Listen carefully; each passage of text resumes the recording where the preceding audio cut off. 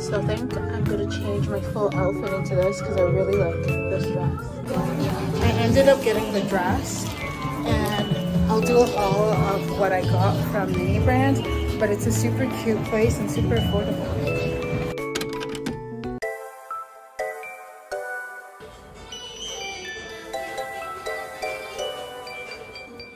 So let's do a solo photo shoot.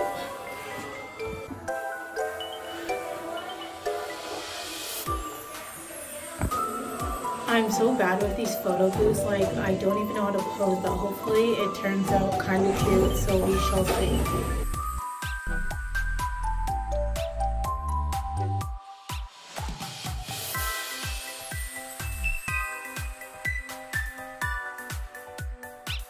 So this is what it looks like. Um, I think they're kind of cute to be honest, so I'm happy with it. And it was only 5,000 won.